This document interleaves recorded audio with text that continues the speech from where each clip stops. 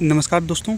तो दोस्तों, आज की इस वीडियो में हम डिस्कस करेंगे H P J O A I T जो एग्ज़ाम आज ही के दिन आयोजित किया गया था। तो इस वीडियो में हम डिस्कस करेंगे उसके जीके सेक्शन को। हाँ अगर आपको लगता है कि किसी प्रश्न का उत्तर गलत दिया गया है तो आप हमें कमेंट बॉक्स के माध्यम से बता सकते हो। तो चलिए शुरू करते हैं वीडियो को। तो जो पहला प्रश्न है, प्रश्न पूछा गया था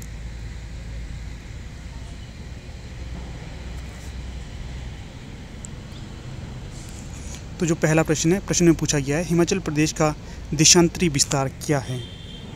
तो विकल्प में है, ए सही विकल्प, पचहत्तर डिग्री सैंतालीस से seventy nine degree zero five पूर्व तक।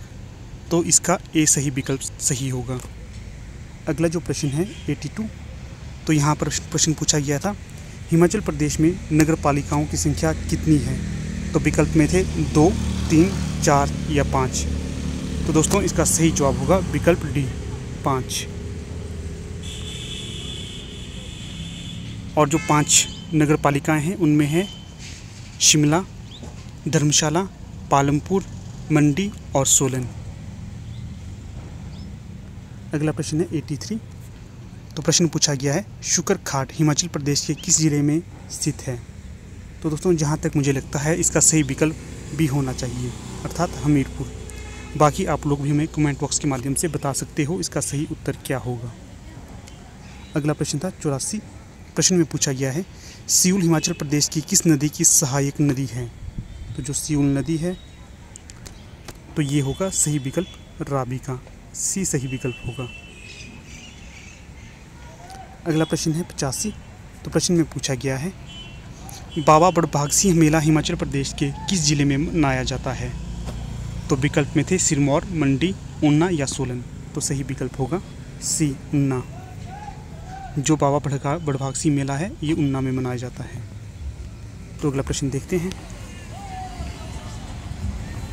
अगला प्रश्न है एटी सिक्स। तो प्रश्न है, प्रख्यात पर्यावरणविद किंकरी देवी हिमाचल प्रदेश के किस ज़िले की रहने वाली है? तो विकल्प में थे शिमला, सिरमौर, कुल्लू और किन्नौर। तो सही विकल्प होगा बी सिरमौर।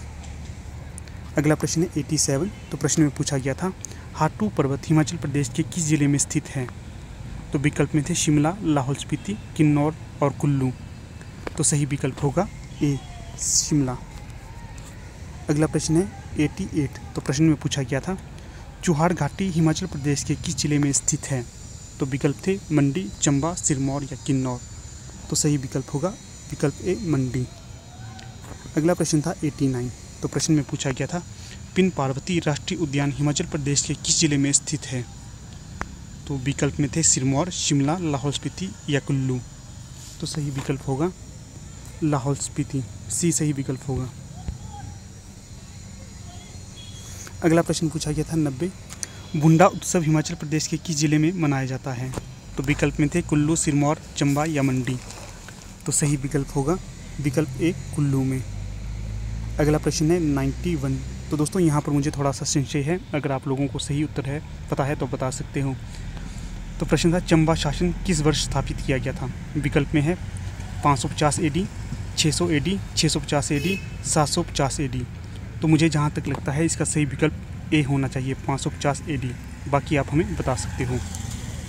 अगला प्रश्न है नाइन्टी टू। प्रश्न में पूछा गया है, सुकेत राजसी राज्य का संस्थापक कौन था? विकल्प में थे बाहु सेन वीर सेन अजबर सेन या गरुड़ सेन तो जो इसका सही विकल्प होगा, वो होगा विकल्प बी वीर सेन अगला प्रश्न है नाइन्टी थ्री। प्रश्न में पूछा गया है, जुब्बल का पुराना नाम क्या था? विकल्प में है किरग्राम बानेड देवरा या हिंदू तो सही विकल्प है सी, देवरा। अगला प्रश्न पूछा गया है 94 तो प्रश्न था हिमाचल प्रदेश की पोंग पन बिजली परियोजना की कार्यकारी इकाई कौन सी है? तो इसका जो सही विकल्प है, वो है विकल्प D B B M B अगला प्रश्न है 95 तो प्रश्न में पूछा गया है, इटरनल विश्वविद्यालय हिमाचल प्रदेश के किस राज्य में, अर्थात किस स्थान में स्थित है? जो इटरनल विश्वविद्यालय है, ये हिमाचल प्रदेश के किस स्थान में स्थित है? तो इसका जो सही विकल्प होगा तो वो होगा विकल्प ए बड़ू साहिब या बड़ा साहिब। तो ठीक है दोस्तों, यहाँ पर हमारी पार्ट एक की वीडियो का समापन हो जाता है। अगर आप लोगों को ये वीडियो अच्छी लगी तो इसे लाइक शेयर और चैनल को सब्सक्राइब ज़रूर करें। जल्द ही हम हम आपके समक्ष इसका पार्ट टू भी लेकर आएँगे। तब तक के लिए धन्यवाद।